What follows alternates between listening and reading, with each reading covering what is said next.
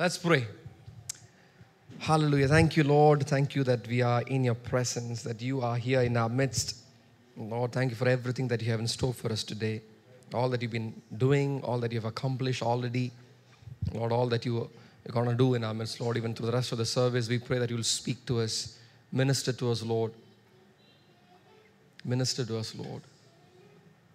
Open our eyes, illumine our wisdom, brighten our thoughts, remove the clutter, cause us to be more efficient and effective in the way we live our lives. Let your word, word come to us, Lord, this morning. Wash us, cleanse us, purge us, correct us, chisel us, and shape us. In Jesus' name we pray. Amen. We've learned so much in the past months about joy. Say joy. About grace. Say grace. About wisdom. Amen. And, uh, and about righteousness and so many other things that we've been uh, that we've been dealing with in this church. You know, the Beatitudes and all the the entire spectrum. And we're going to continue our meditation on wisdom today. And the, the more we look into the Word of God concerning wisdom, the more we realize that, like I've already made it clear to you, wisdom is expressed in the words that we speak, and that it is made manifest or revealed uh, in the decisions that we, we make in life. So, uh, and I, I, want to remind you one more time this is a, deep topic, it's a deep topic which requires a closer study, a deeper study. Um, you know, set aside time to study, uh, you know, deep into it. Yeah, uh, and this is this is gonna really change the way you live your lives. Hallelujah. Hallelujah. Now, many Christians are found cribbing, you know, along their journey of faith, along their journey of life. Uh, when I say cribbing, what I mean is murmuring and complaining all the time. And, and it's very sad to see Christians in that mode, always complaining, always murmuring, and you know, the, the, the, the tone of their voice is always um, gloomy. And I've realized that, by observation, I've realized that the easiest thing for a person uh, who is depressed, easiest thing for a person to do when he's depressed is to speak negative. It's the easiest thing that a person can do.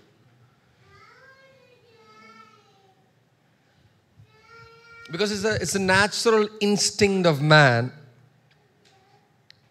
to speak in agreement to depression and gloom. Negativity thrives in the human language. Have you, have you noticed that? Negativity thrives in the human language. Now, even just, okay, now, uh, pay attention to what you listen, what you hear. Even normal conversations.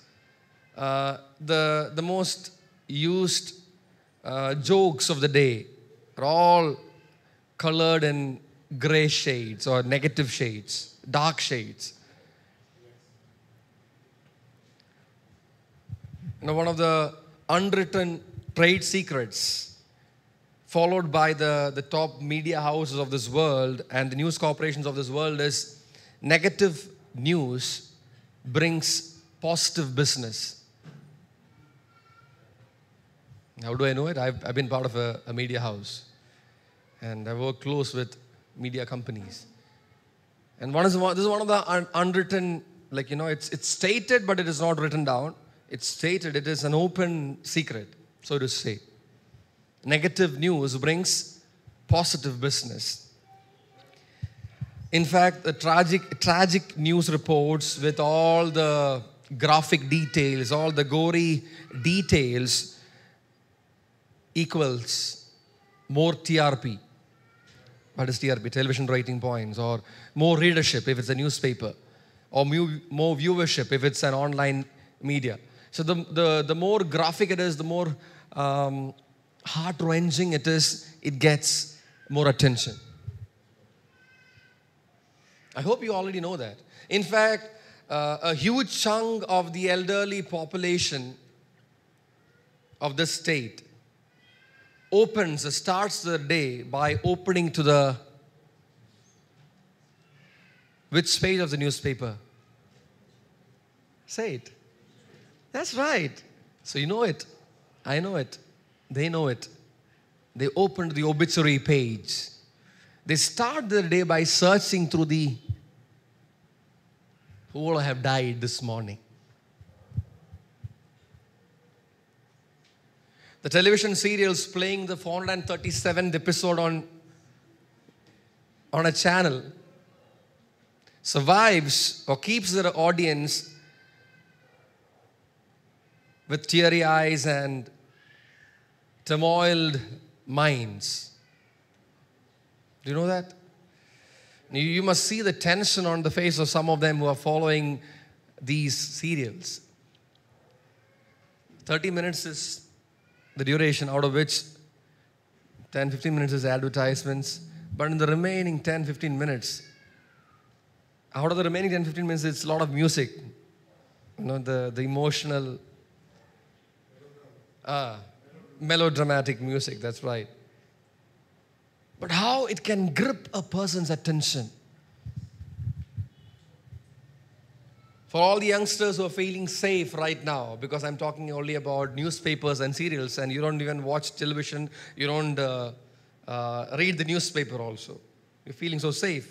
You know, uh, I want you to know that uh, a research study conducted by the Harvard Business School came to the conclusion that on social media, which is uh, uh, the novel kind of media, not television, not radio, not newspaper. Uh, on social media, negativity spreads much faster than positivity.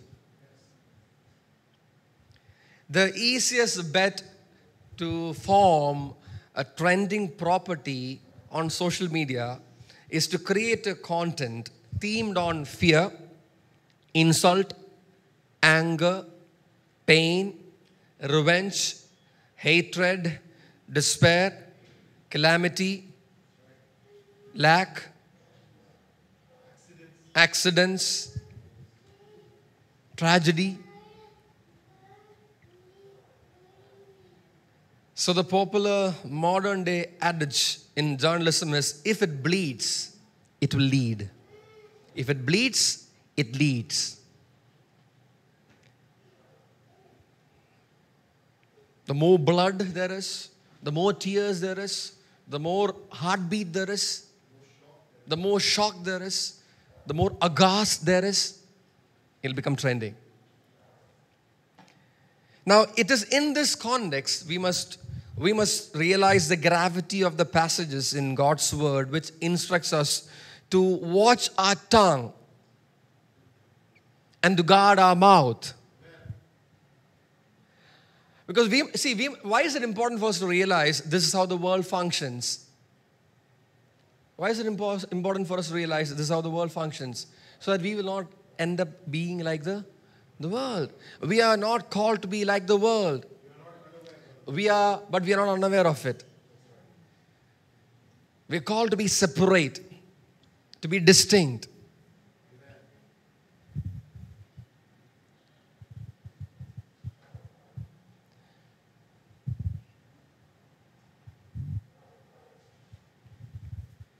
Sanctifying our tongue to communicate the oracles of God is a high calling. Setting our tongue apart to communicate the utterances of God is a high calling.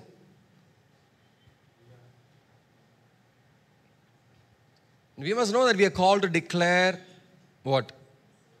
The excellencies, the high praises that's right. The excellencies of our. That's right. The excellencies of, our, of the fountain of life. Amen. The excellencies of our God. We've been chosen for that. The lips of the righteous is fountain of life. The lips of the wicked is violence. That's what the scripture and Proverbs say. You know, unless you stop yielding your tongue to to, the, to, speak the world's to speak the world's language, you cannot even begin to speak the language of God. You have to stop yielding. It's a willful submission. It's a willful um, resistance to speak the language of the world and a willful submission and yielding to speak the language of God.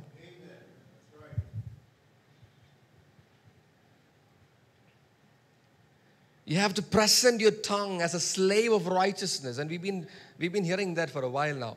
You have to present the members of your body. And I'm telling you, you have to present your tongue first and foremost as a slave of righteousness. A slave of righteousness is an act of faith, an act of obedience. Say obedience. obedience. A faith. Speaking right is an act of faith.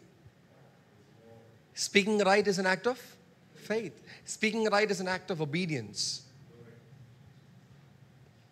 I want to ask you this question How is your tongue doing this morning? Can I see your tongues? How is your tongue doing? Does it require repair this morning? Uh, does your tongue need repair this morning? Does it need a cleansing touch this morning? Does it need the touch of the, like, the, like we read in the, in the Bible, the altar coal of heaven. Touch my lips. Touch my lips with a burning coal from the altar that is burning before God. Now, all you got to do is present your tongue, place it as a living sacrifice before God. You got to place your tongue as a sacrifice before God. I'm not, I'm not even trying to indicate it is easy. I'm not even trying to suggest it's a, it's a, it comes natural. It will not. But it's a sign of discipleship. It's a sign of being a true disciple. Being discipled by God's word that you present your tongue to God to speak the content of God, the theme of God, that you make your tongue the pen of a ready writer to sing, to, to, to write poetry about your king. Your tongue must write poetry about your king all the time.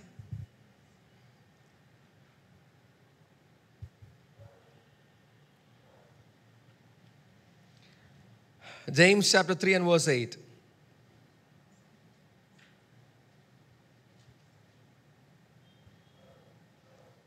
But no man can tame the tongue. What does it say? It is an unruly evil, full of. no one can tame the tongue. No man can tame the tongue. Now, this, is a, this verse is a reminder that we cannot do it on our own. It is not possible for the natural man to tame the tongue. You need the Holy Spirit to tame this unruly evil which is full of deadly poison.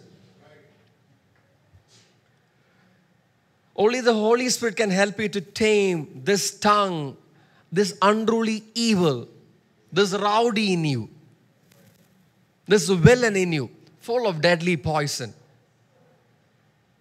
It's, it's a, actually it's a comfort when you read that scripture, but no one can tame the tongue. No one can tame the tongue. Some of you like, see, no one can tame the tongue. But I'm like, ah, no one can tame the tongue. Only God can do it for us.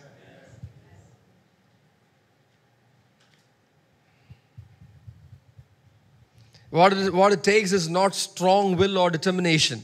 No, I've tried it. I've tried it. I've tried my best to, uh, you know, I was determined that I will not speak anything bad or, you know, wrong or, but I've realized that the more determined I am, the more easier I failed, faster I failed. All it takes is submission to the Holy Spirit. So you have to stop saying, I've tried my best to control my tongue, but I just cannot. I've tried my best, but I cannot. I just cannot have control over what I say. Your best does not work, dear brother, dear sister. Your best will not work when it comes to controlling your tongue. Now, from, listen, from Adam all the way to you, can put your name there. Only one person has tamed the tongue. Completely, fully. His name is Jesus. So I want I have news for you. Only Jesus can tame the tongue of a human being.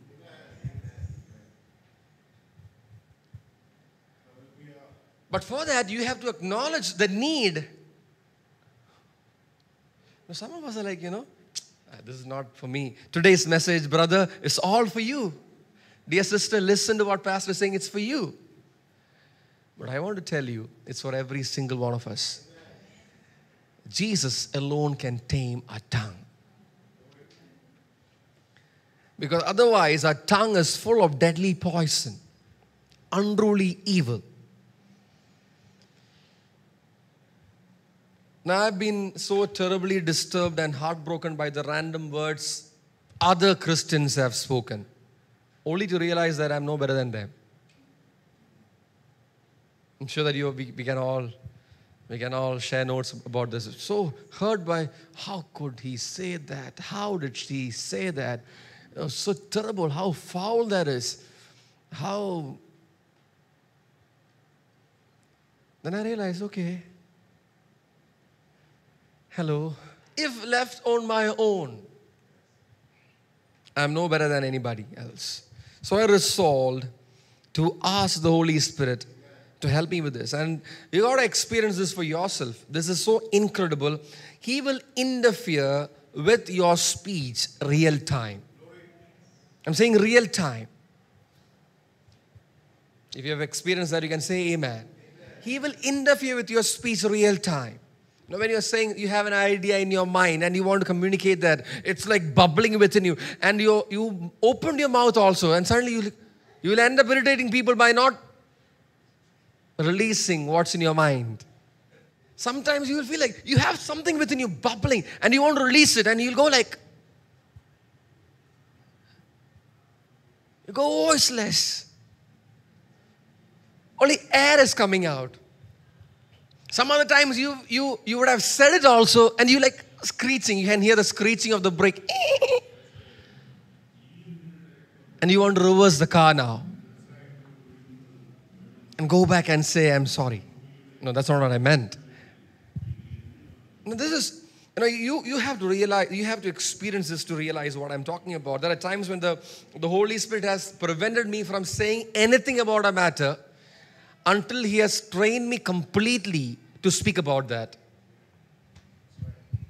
And there are a lot of things I want to say. I'm like full of information, full of this and that. He said, No, no, no, keep quiet, keep quiet, keep quiet. Okay, why? And then he'll he'll open my eyes to understand something else. And then he'll say, Now you speak. So now you should come to a place where you don't care whether the other person is listening or not. As long as you're speaking the right thing, you can walk off from that place in perfect peace. I've said it. What God wanted me, me to say, I've released it. I go back and give thanks. Thank you, Lord, for enabling me to speak what is right. So no man can tame the tongue. Only the Holy Spirit can. Depend on Him. Depend on Him. Now, last week I told you that it is um, wisdom to trust in the Lord and not to lean on your own. So, concerning the, the, the words of your mouth, it is wisdom to depend on the on the Lord, to trust in the Lord, than to rely on your smartness and your vocabulary and the richness of your words and your eloquence. Proverbs chapter 15 and verse 4.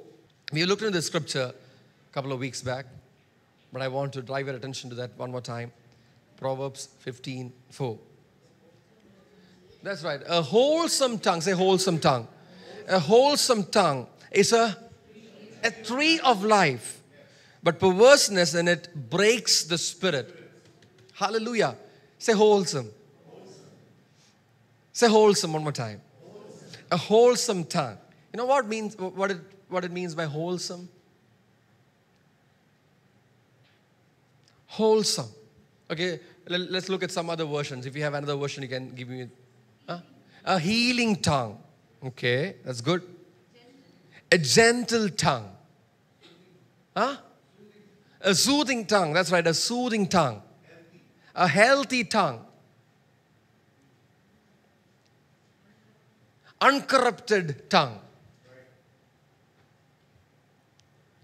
A soothing, gentle, uncorrupted, curative, able to cure, a curative tongue. That's the, that's the, that's the literal meaning of that word. A curative tongue, a medicinal tongue. Ah. This medicine. You have a pharmacy right inside your mouth. It's a, it's a remedy to all your problems. A remedial tongue, a curative tongue. A yielding tongue. Fruit bearing, yielding tongue. A sound tongue is a tree of life. Now, what is the tree of life now? Tree of life. Where, where, where did you see the tree of life? In the Garden of Eden, in Genesis, in the book of Genesis, in the Garden of Eden, the two, two trees. One was the, the tree of life, the, the other one was the tree of the knowledge of good and bad, good and evil. Okay? And when man fell, what did God do? God prevented man from eating of the tree of life. Why? The tree of life has the, has the ability to make man live forever. So God did not allow the, the fallen man to eat of the tree of life. You know that, right? So he prevented, he guarded it so that man will not eat of the tree of life. That you see in Genesis. Now, where else do you see the tree of life? In the book of Revelation, the first book and the last book contains some mention about the tree of life. What do you see in the book of Revelation concerning the tree of life? That's right. There are, there are, uh, there are different kinds of fruits. In each month, a different fruit it will bear. That's fantastic, right? In Jan, a fruit. In February, another fruit. In March, another fruit. Hallelujah. The leaves of the tree of life are for the healing of the nations. Ha. The leaves of the tree of life are for the healing of the nations. Right in the sandwich between the book of Genesis and the book of Revelation, we find the tree of life again in the book of Proverbs, multiple times, multiple mentions. I believe it's a type of the tree of life. A type of the tree of life. Everything that the tree of life in can, is intended to do, this tree of life can do in your life. What is that? It can give you longevity, it can make you live forever. It can bring healing to you. It can satisfy you. Fruit bearing. Where is this? In your tongue, not in the Garden of Eden, not in the New Jerusalem, in your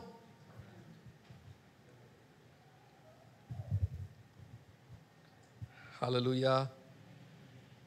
Look, look at the adjective used before the tongue. A wholesome. Say wholesome. Say soothing. Say curative. Say medicinal. Say remedial. Say sound. Say uncorrupt. Say yielding. That's your tongue. That's your tongue. It's a tree of life. A wholesome tongue can heal and cure. A sound tongue can restore and revive. Uh, it can bring forth fruit in the right time. Hallelujah. Where is the remedy to all your problems? Do this.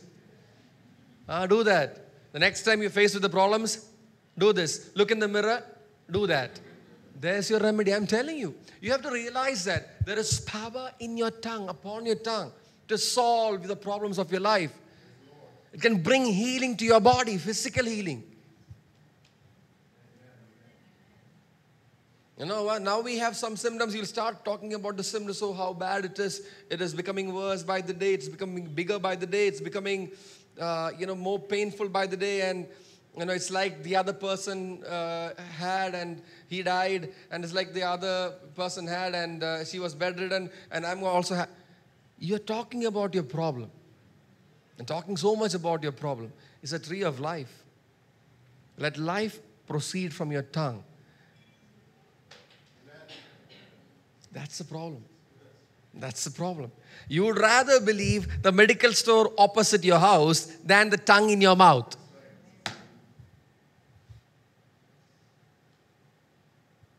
Maybe it's about the money that you spend. The, the amount of money people spend on medicines these days. Do one thing. Next time you say something nice, pay yourself some money. You'll feel good. You'll start believing what you say. Give your spouse also some money. Every time she says something nice, something, something that is of healing to you, give her some money. Glory. Oh, we'll be so rich. We'll be blessing each other all the time. That's a fantastic idea. Thank you so much. The church must do that. The next time there is some pleasant words in your family, bless that person. Bless your husband, bless your wife, bless your son, bless your daughter. Huh? It is better than spending money in the medical store. Sorry, I didn't hear you, King. Proverbs 16, verse 24. It says, Pleasant words are a honeycomb. Say honeycomb. Pleasant words are a honeycomb sweet to the soul and healing to the bones. I like it. I love it. You know what it says? I read it and I, I went like this. That means you do not have to depend on any form of artificial sweetness. Pleasant words are better and healthier. It's a better and healthier alternative to sugar. You can't take it literal, can you? Can't you? Pleasant words, you, see, you, you just receive this. Pleasant words is a healthier and sweeter alternative to sugar. That's what this says. Pleasant words are a honeycomb, sweet to the soul. It's sweet to the soul. You know, all the wives can make a note of this. The morning coffee that you make can taste sweeter to your husband if you can serve it with pleasant, godly conversations. Ah, I like it. The morning coffee that you make, Animam has already taken down notes. The morning coffee that you make or the morning tea that you make for Kuchuman Chan will be sweeter richer, without sugar, if you can, if you can place it before Him with some pleasant, godly, word based conversation. While you're eating food, don't speak anything negative. Don't speak about this and that accident and this calamity and this that tragedy. Don't do that. Your food is sanctified with word and thanksgiving. May your husband call you honeycomb. May your husband call you honeycomb because of the words that you speak. I bless you with all, bless all, all the wives in this house. May your husband truly call you sweetie, sweet. That's right. Honeycomb. You know why? Because of the words that you speak. Honey is representative of God's word. It's your, your precepts are sweeter than honey to my lips. Now, for all those of you worried about weight gain and borderline blood sugar level, the Bible is presenting a sure remedy for your dilemma. Have pleasant conversations. You can avoid all sugar. That's right. David, you, you see, I'm giving you a solution for that. You want to cut sugar? Get into conversations which are godly, word based. And tell mama, mama, tomorrow on let's let's have a Bible study for breakfast because I'm cutting sugar. It works. That's what the Bible says. I'm telling you, this is literal. You can try it out. This is literal. Everything that you eat will become enjoyable if you can have it like Pastor Vin was pointing out with thanksgiving, with the word of God. It's sanctified. Your food will become a, a healthy, uh, nutritious consumption to your body. Do not discuss the, the news headlines when you're having breakfast. Do not discuss the world politics when you're having lunch. Discuss the word of God. Discuss the Word of God. Encourage your children to ask you questions from God's Word. If they ask anything else, shh, keep quiet. But have conversations. See, it's, it's good to have conversations over the meal which are directed to God. Discuss what God is speaking to you. Weave conversations about the mighty works of God. It'll be sweet to the soul and healing to your bones. The diet plan. Starting today, your new diet plan. Godly conversations. Godly conversations. Every food will become tasty to you. Man shall not live by bread alone, but by every word. Word must be part of your diet. Hallelujah. Proverbs 12, verse 18. May your words be better than sugar. May your words be sweeter than sugar. Not sugar coated. Not sugar coated. Better than sugar. Not flattery. The truth. There is one who speaks rashly, like the thrust of a sword. But the tongue of the wise brings healing. You know, at one point of my life, I used to take pride in the fact that I can speak like this. There's one who speaks rashly, like the thrust of the sword. When I speak, I can hit the heart. But the tongue of the wise brings healing. Now, do not be the one who speaks rashly, like the thrust of the sword. Know that your tongue is a dangerously sharp sword. Your tongue is a dangerously sharp sword. It can cut, it can, it can make others bleed. It can make others bleed. It can open up a wound, sometimes incurable.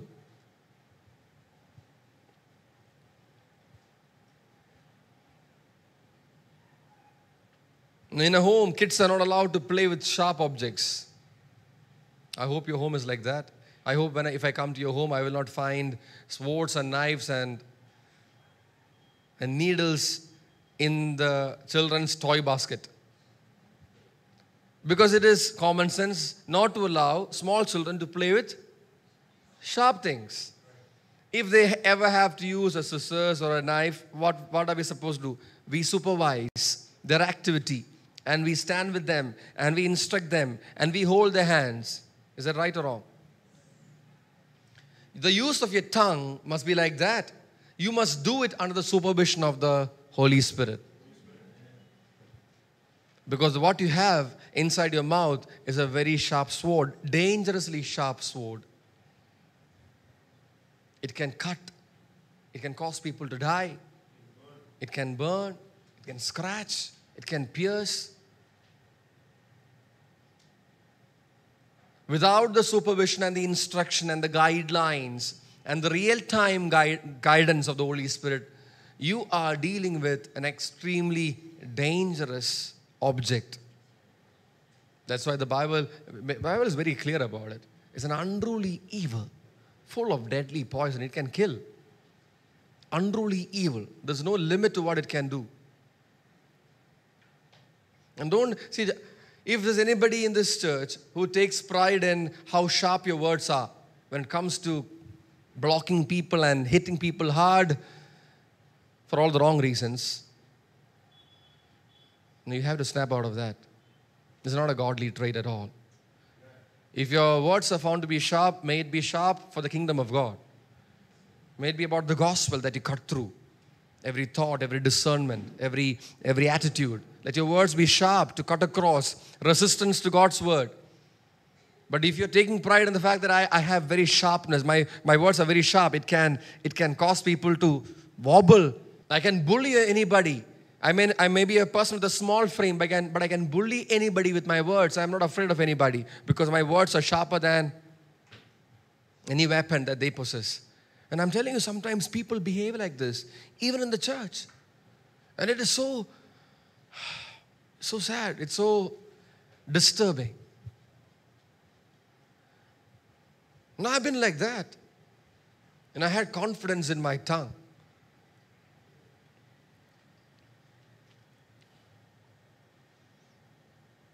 We also learned that the tongue is like medicine. A little while earlier, a few uh, scriptures that we considered, a tongue is like medicine, and kids are not allowed to handle medicines, right? Keep children away from medicine, or keep the medicine away from children. It's an instruction on the. Now, if the child has to be administered some medication, that's by the supervision and the wisdom of the parent. Likewise, the medicine that is your, your, your tongue, it must always be administered by the Holy Spirit. The words that proceed out of your mouth, it is medicine. It has to be administered the right dosage. The right dosage. The right time. The right usage. The right storage. You must have the desire to speak like Jesus. You must have the desire to speak like Jesus. Every child here, listen to me. Listen to me. All of you, listen, children, listen to me. You must pray every day, Lord, I want to speak like Jesus. Every day, pray like this. Make this a prayer of your life. Lord, I want to speak like you. Not just from the pulpit, but even otherwise. I want to speak like you. You know, he spoke a word and, uh, and people in a distance, in a far distance, got healed. That's the power of the word that he spoke. He spoke the word here, miles away, person got healed. Hallelujah. Desire to speak like that. Doctors, you don't have to administer, you don't have to prescribe medication. Your tongue is a medicine. The, the words, and you're going to see that in your in your career. How how when you say things, can it'll bring healing to people and they'll testify, You're not like any other doctors. We're not coming to you for medicine, we're coming to hear the words of your mouth. And make it a desire, make it a prayer. Make it a prayer. Don't, don't uh, belittle yourself to the laws of medical science. But ex- you elevate yourself.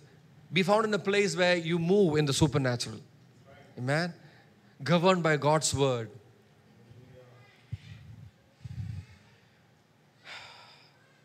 Do not wield the tongue any way you feel like. Now bring it in subjection to the will of the Holy Spirit. May your tongue be continually trained by the Holy Spirit. When you before you go enter a house, I don't know how many of you do this. We do this. It's a practice that we do when we go visiting people. Now on the on the road, you know, Nisha will remind me, let's pray.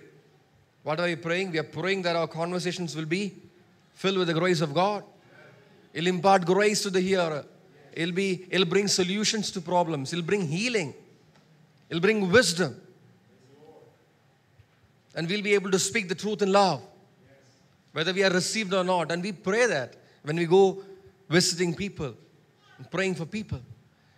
I encourage you to make that a practice. When you go out meeting people, pray. Before every meeting, you pray. It can be a business meeting, it can be, okay, definitely when you're going to take classes, you have to pray, Lord, help me to speak right to my students. You're going for a meeting, you're, you're meeting your friends after a while. And I pray that you will speak the excellencies of God, the high praises of your God. And you speak, people are captivated. What kind of authority? What kind of authority? What kind of confidence? The boldness, the insight, the wisdom, the ability to solve enigmas and problems.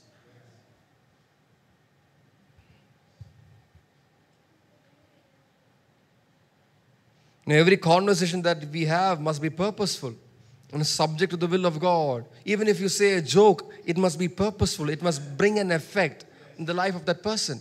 And that's a good desire to have. Now, we all want to crack a joke. It's not easy to crack a joke, I'm telling you. But you must have the desire that even your joking will cause an effect which will awaken a person, which will quicken a person.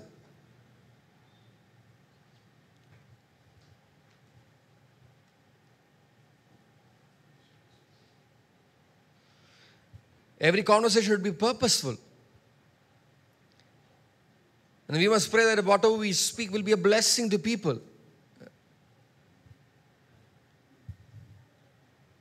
Before you go to school, you must pray, okay? Leanne and Abigail and Chrissy and all of you, okay? You go to school or you're meeting your friends, you must pray. Lord, today I want to bless people. I want to bless people with what I say. You must do that. Come back and tell your parents, today I had this conversation and I said this. Was it right? You can ask your parents, was it right? What should I say? They're asking me this question. And ask the Holy Spirit to, to help you to speak. Bring them to Jesus. They should ask you, why are you like this? You're different. You should say, I love Jesus. Simple. Anybody can preach the gospel. Don't think that you have to grow up and um, and stand behind a pulpit to preach the gospel. You can preach the gospel where you are, right where you are. And my greatest regret is the fact that I couldn't preach the gospel when I was in school because I didn't know the Lord. Now I'm trying to go to schools and preach the gospel. Now you can start when you're in schools, in your school. Preach the gospel. Tell them about Jesus. Pray before before you go out in the morning. Pray, Lord, today I want to I want to bring the word of God to somebody. Just lead me to the right person. Help me to have the right conversation. The effect it has in making friends. You must do it. Uh, you know, when we we went to schools and we get to interact with um, the teachers, the student counselors, and all. You know, some of them come and confide with us some of the problems that they face uh, with the students of today. And it's, you can ask the teachers here. It's beyond what you can imagine. So when you, if you're sending your, okay, all the parents listen. If you're sending your child to school, send them as a missionary. Train them up as a missionary. Tell them you're going there, going to school to tell them about Jesus. Otherwise, don't send them. Otherwise, don't send them. Well, I mean, why, why else do you want to waste the, the, the life of a child? Going to a place where they are bombarding them with all kinds of nonsense. It must be with the sole purpose to tell others about Jesus, to sow the seeds of the gospel. Amen. Amen. Hallelujah. Either you're all listening and agreeing, or you're all like, okay, what is this now? Are you agreeing with me? Yes, teachers. You must resign your jobs if you're not planning to preach the gospel. Take it from your pastor. You must resign your jobs if you're not planning to tell them about, tell your students about Jesus. Don't be afraid of anybody. You are sent there with the purpose to tell them about Jesus. It's your mission field. It's your mission field. Just like how missionaries say, we've been to Orissa and West Bengal and Chhattisgarh and, you know, Africa and all. We've been to Mar Basilius School. What are you doing there? We are missionary teachers. That's what you are. Missionary doctors and missionary businessmen or whatever you are. If the adjective missionary or the, or the description Christian or missionary does not precede the title that you carry, your title is worthless. It's a worthless, it's just a bird. It'll be a burdensome title for you. It'll, it'll become a burden for you.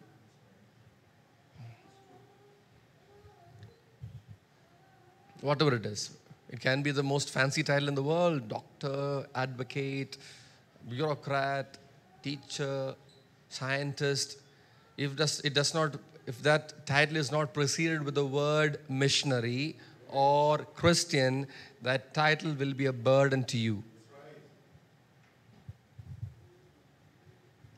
If you, if you cannot if you cannot come to terms with the fact that you're a christian musician music will become a burden to you. Because you're pursuing after emptiness and what what will happen for those who pursue after emptiness? They'll become empty. So every pursuit in life must be smeared with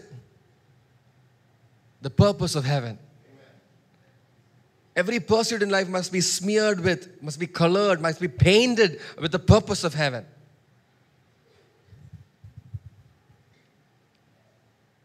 Oh, it's a pity. It's a pity otherwise.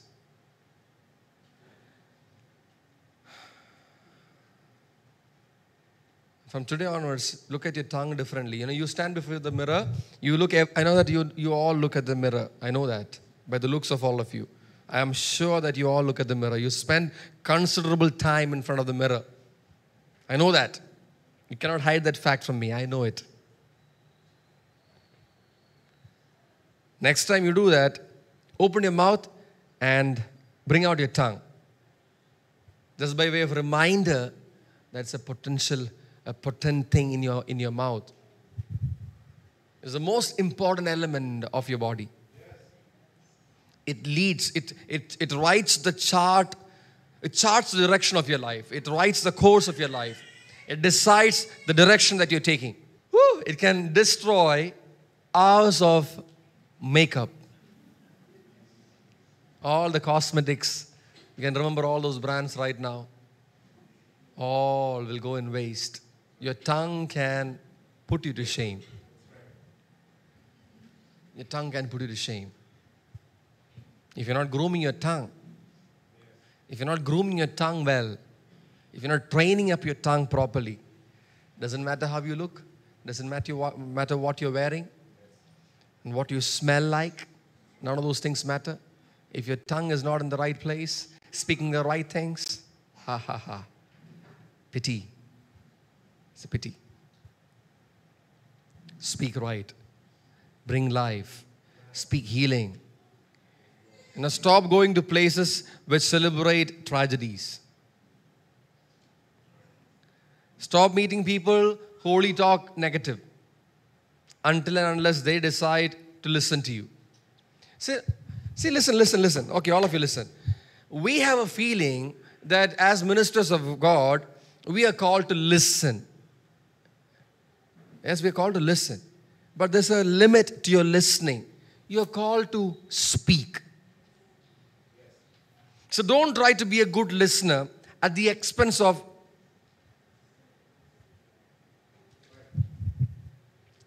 becoming a good speaker. That's right. You're getting this? So don't take pride. I'm a very good listener. I can listen to their uh, all their tragedies, hours and hours. I can listen to them. What's the benefit? They just poured out all their garbage on you, vomited on you. You're going back with their vomit on you. Doesn't profit them, doesn't profit you. As a minister of God, you're not called to be a listener. Yes, you have to listen, but you have to draw a line. Okay, I've listened enough. Okay, I'll tell you something. From my experience, all the stories are similar. You can ask people who, are, who do counseling, who, who help people, you can ask them. Every story is similar. The, the, the foundation of every problem is what? Sin. The foundation of every problem is sin. So you have the solution. Even before, it's like, you know, somebody wants to introduce a product. Okay? And you- you, they'll ask you, do you have, for example, they'll come to your home and say, uh, is your house leaking? Uh, do you have dampness on the wall? And you'll say, yes, yes, I have the product for that. So you don't wait for the person to say, yeah, since 2018 floods, my wall became damp and then it started to leak. No, you don't, you don't, the, the, the salesman doesn't want to know all that. The, statement, the salesman will come straight to the point. I want to sell a product which you're in need of. That's how you must approach God's word. The presenting of God's word. You don't have to spend hours listening to problems. You don't have to. You don't have to. It's a lie.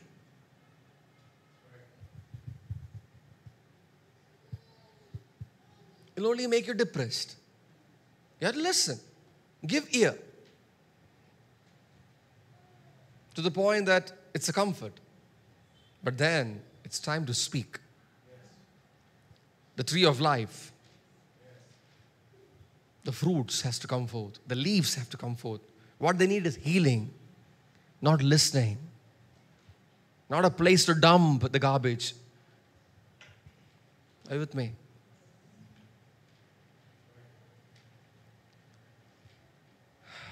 Hallelujah.